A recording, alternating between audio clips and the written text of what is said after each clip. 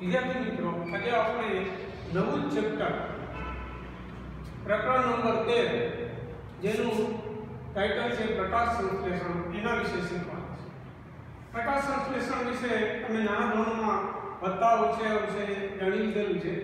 પ્રકાશ સંશ્લેષણ એ એવી જૈવ રાસાયણિક ક્રિયા છે કે જેની અંદર સૂર્યપ્રકાશનો ઉપયોગ કરી લીલી વનસ્પતિમાં રહેલા ક્લોરોફિલ સકા હરિતકણ એ હવાના કાર્બન ડાયોક્સાઇડનું શોષણ કરી અને મૂળે ચૂસેલા પાણીની મદદથી પોતાનો ખોરાક બનાવે છે. ગ્લુકોઝ સ્વરૂપે અને પછી સ્ટાર્ચ સ્વરૂપે એનો સંગ્રહ થાય છે. તો પ્રકાશ સંશ્લેષણ દેવ ક્રિયા છે.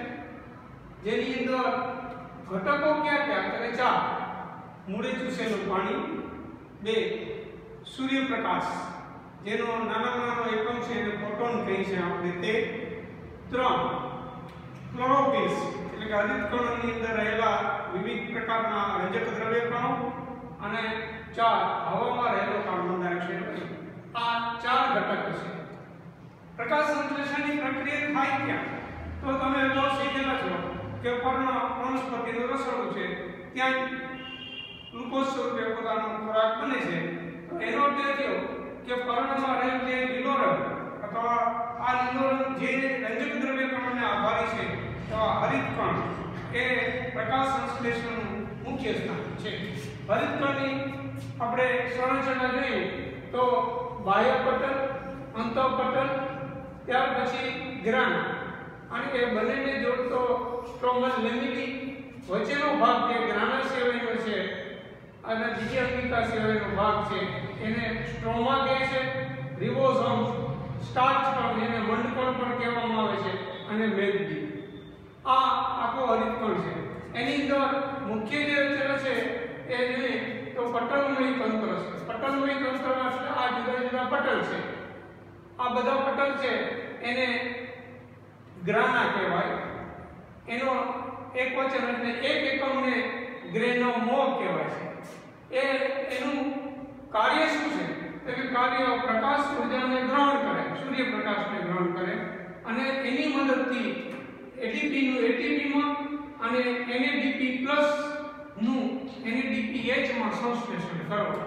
એટીપી એટલે એડિનોસાઇન ટ્રાઇફોસ્ફેટ NADPH એટલે કે reduced H છે એટલે રિડક્શન થયેલું છે.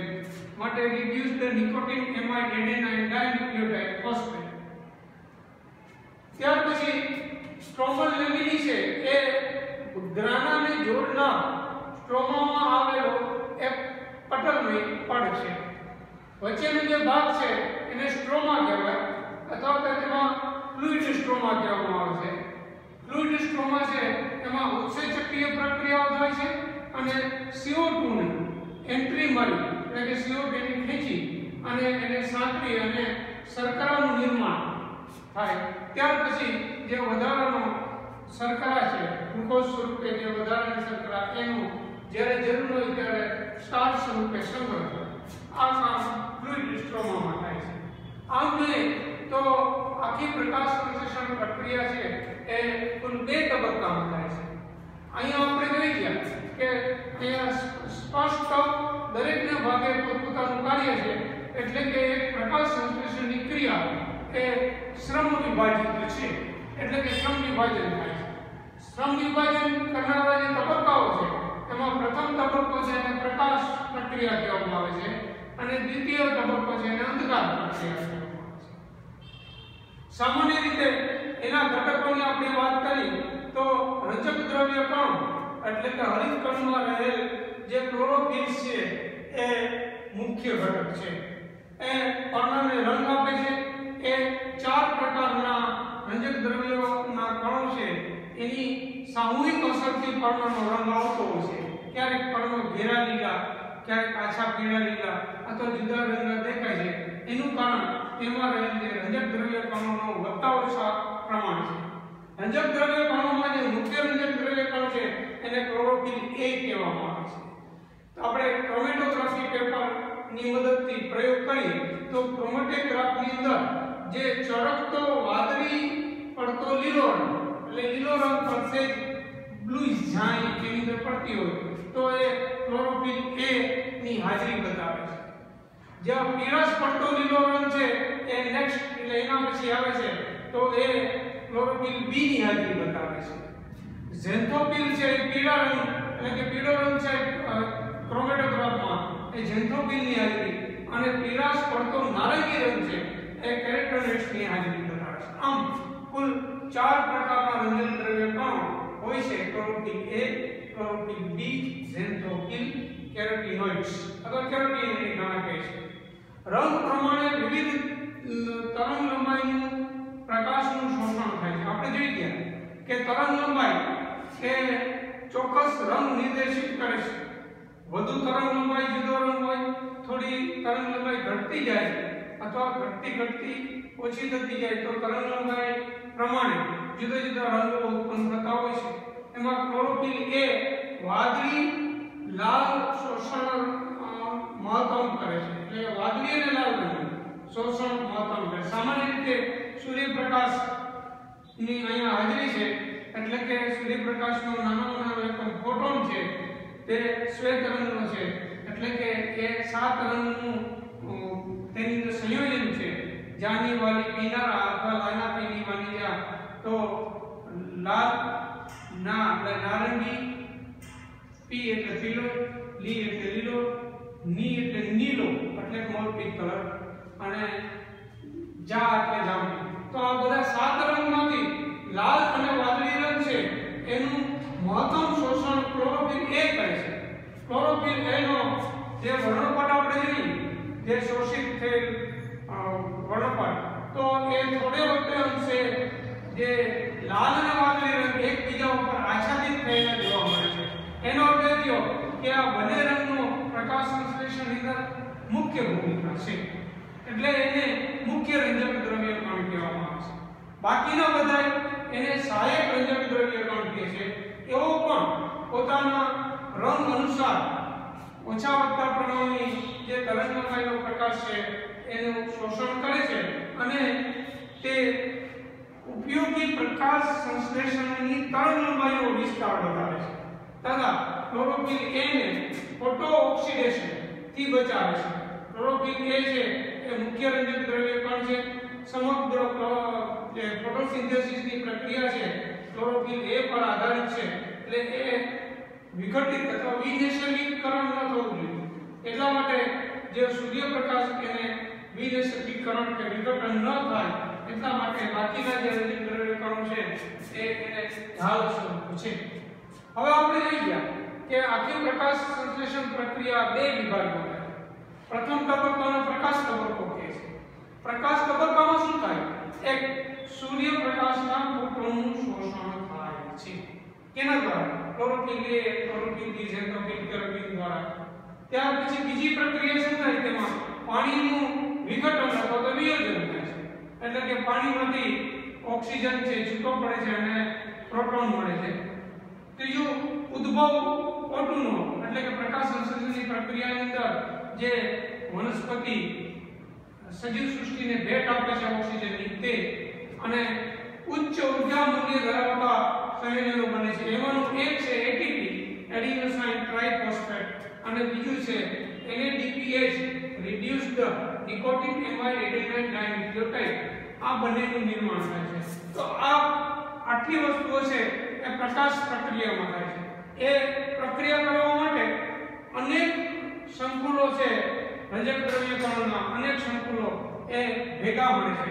સાથે મળી અને જે બનાવે તેને લાઇટ હાર્વેસ્ટિંગ કોમ્પ્લેક્સ એટલે કે પ્રકાશનું હાર્વેસ્ટિંગ કરનારું એક કોમ્પ્લેક્સ બનાવે છે. એમાં મુખ્ય છે બે. એક છે પીએસ1 ફોટો સિસ્ટમ 1 અને બીજું છે ફોટો સિસ્ટમ 2 હવે આ 1 અને 2 નંબર છે એ સંશોધન પહેલા થયું એટલે 1 આવ્યું પછી થયું એટલે 2 આવ્યું LHC પ્રોટીનથી અનુબંધિત હજારો રંજક દ્રવ્ય કણો પ્રત્યેક PS માં ક્લોરોફિલ A નો એક અણુ હોય. LHC ની અંદર ઘણા બધા રંજક દ્રવ્ય કણો છે હજારો છે જે પ્રોટીનથી અનુબંધિત છે અને બધાય પીએચ માટે ફોટો સિસ્ટમમાં ક્લોરોફિલ એ નો ફક્ત એક અણુ અને બાકીના બધા બીજા રંજક દ્રવ્ય અણુ જુદા જુદા પ્રમાણમાં હોય છે. એન્ટેના છે એ ફોટોનને સ્વીકારે, જેમ આપણે સિગ્નલિંગ છે સ્વીકારવા માટે એન્ટેના હોય છે. એ એન્ટેના છે, એમાં ફોટોન સ્વીકારે, ક્લોરોફિલનો એકાકી અણુ પ્રક્રિયા કેન્દ્ર બનાવે છે. અને બંને પીએસ માટે ફોટોસિસ્ટમમાં પ્રક્રિયા કેન્દ્ર બિન બિનોમી છે. એટલે કે પીએસ 1 નું પ્રક્રિયા કેન્દ્ર પીએસ 2 નું પ્રક્રિયા કેન્દ્ર બંને જુદા છે. ક્લોરોફિલ એ છે એ 700 નેનોમીટર પ્રકાશની તરંગ લંબાઈ હોય એવા પ્રકાશનું શોષણ કરે છે. એટલે એને ફોટોસિસ્ટમ છે એટલે એવા જે ફોટોન છે એને P700 કહેવામાં આવે છે. જ્યારે P PS2 માં એટલે ફોટોસિસ્ટમ 2 માં 680 નેનોમીટર હોય એવી પ્રકારની તરંગલંબાઈનું શોષણ કરનારા આ ફોટોનનું શોષણ થાય છે. માટે PS2 ને P680 પણ કહેવામાં આવે છે. હવે જેવો પ્રકાશ શોષાય એટલે સ્વાભાવિક રીતે ઉત્તેજના આવે એટલે PS2 માં ક્લોરોફિલ એના શોષણ 680 nm લાલ પ્રકાશનું શોષણ કરે છે અગાઉ આપણે જોઈ ગયા એને લીધે એના પરમાણુ ઉત્તેજિત થાય. ઉત્તેજિત થયેલા પરમાણુના છેલ્લી કક્ષામાં એટલે બાહ્ય કેન્દ્રીય કક્ષાની જે છેલ્લી કક્ષા છે, એનો ઇલેક્ટ્રોન છે, એ જમ્પ કરે છે અને દૂર ચાલી જાય છે. આ જેવો દૂર જાય એટલે એને સ્વીકારનાર, ગ્રહણ કરનારો ઇલેક્ટ્રોન ગ્રાહી સિસ્ટમ હોય છે, એ એને ગ્રહણ કરી લે છે. જે સામાન્ય રીતે ઇલેક્ટ્રોન ઉપર નેગેટિવ ચાર્જ હોય તો ઇલેક્ટ્રોન ગ્રાહી પદાર્થની અંદર પોઝિટિવ હોવું જોઈએ. જે ઇલેક્ટ્રોન સાયટોક્રોમ ધરાવતા ETS માં લઈ જાય છે. ત્યારબાદ ત્યાં રેડોક્સ પોટેન્શિયલ માપદંડ મુજબ અધોગામી આને કહેવાય, જે PS1 ના ETS ને આપે છે. તેથી PS1 માં જે 700 નેનોમીટરનું શોષણ જે લાલ રંગની પ્રકાશ તરંગ લંબાઈનું થાય છે, તે ઇલેક્ટ્રોન ગ્રાહી તરફ વહન પામે છે. જેની રેડોક્સ પોટેન્શિયલ વધે છે. એટલે જેવો વધે એટલે ત્યાં રહેલો જે પદાર્થ છે, એને Dp એટલે કે નિકોટિન એમાઇન એડેનાઇન ડાઇન્યુક્લિયોટાઇડ ધન, એના તરફ ગતિ કરે છે. કારણ કે ઇલેક્ટ્રોન મૂળ છે. એટલે એમાં ઇલેક્ટ્રોનનો ઉમેરો થાય. જેવો ઉમેરો થાય, એટલે ઇલેક્ટ્રોનનો ઉમેરો એટલે રિડક્શન એટલે ત્યાં રહેલું જે NADP પ્લસ છે, એનું રિડક્શન થતા હાઇડ્રોજન ના, જે પ્રોટોન છે, એક એમાં ઉમેરે છે, એક પ્રોટોન અલગ પડે છે. આ જે આકાર છે, એ Z આકારનો બને છે. અહીં તમે જોઈ શકો છો, સૂર્યપ્રકાશ નાના નાના કણ પ્રોટોન, એલેક્સી લાઇટ હાર્વેસ્ટિંગ કોમ્પ્લેક્સની અંદર PS2 માં પહેલા શોષાય અને ત્યાર પછી, એટલે કે 680 જેની તરંગલંબાઈ ઓછી હોય, એ વધુ ક્રિયાશીલ હોય છે. એટલે એ બધી ઇલેક્ટ્રોન છૂટો પડે ઇલેક્ટ્રોન ગ્રાહકમાં એ પરિણમે, ત્યાર પછી તે ઇલેક્ટ્રોન પરિવહન તંત્રમાં જાય, ત્યાંથી વળી LHC જાય જાય PS1 એને સ્વીકારે અને ઇલેક્ટ્રોન ગ્રાહક તંત્રમાં જાય. અહીંયા તમે જોઈ શકો છો, એ દરમિયાન બે વસ્તુ બને છે. એક, પાણીનું નિયોજન એ અહીંયા પીએસ ટુમાં બને છે. એટલે કે ત્યાં ઇલેક્ટ્રોનની પ્રાપ્તિ થાય છે. અને બીજું છે, એ એનએડીપી પ્લસ નું NADPH વત્તા H પોઝિટિવની અંદર એનું વિયોજન થાય. આ બંને વસ્તુઓ છે એ અંધકાર પ્રક્રિયા માટે જવાબદાર છે. કારણ કે અંધકાર પ્રક્રિયાની અંદર ત્યારબાદ આ શક્તિનો ઉપયોગ કરી ADP નું ATP માં અને અંધકાર પ્રક્રિયાની અંદર આ જે રિડ્યુસ્ડ NADPH છે, એમાં પરિણમવું શક્ય બને છે.